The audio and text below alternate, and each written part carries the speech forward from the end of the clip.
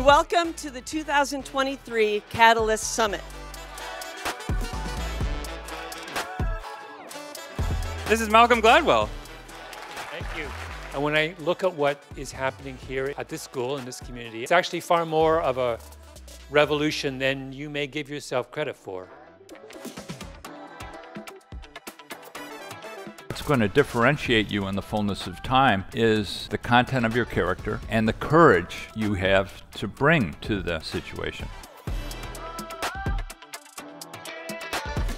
The obstacle was getting people to believe that change was possible. If one person invests time, energy, and resources in the trajectory of another person, change their life forever.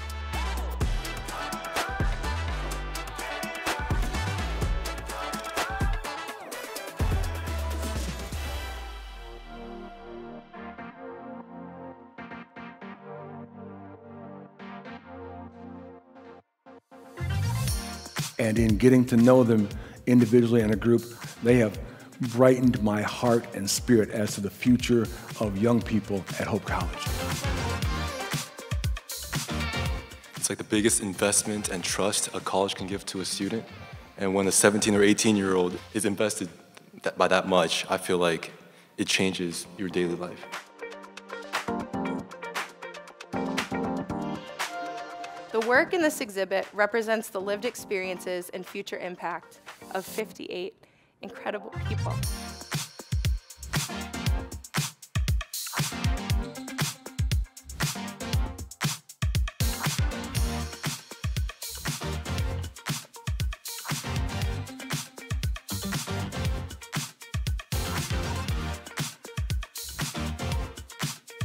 Very late night. Yeah, very late. Yeah, night, very late night at seven o'clock. Yes, that's right.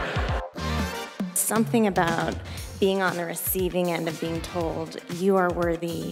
This is a gr- pure gratuity, and and all we are asking is that you consider what it is to respond to this kind of grace later in life to future generations. And I was like, what this really is is like it's immediately creating a multi generational community.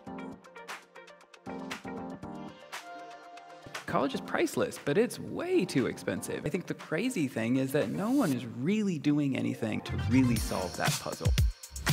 It is one of those wonderful ideas that people are going to try and politicize it, but it's non politicizable. Why not 30 years from now? This is the norm.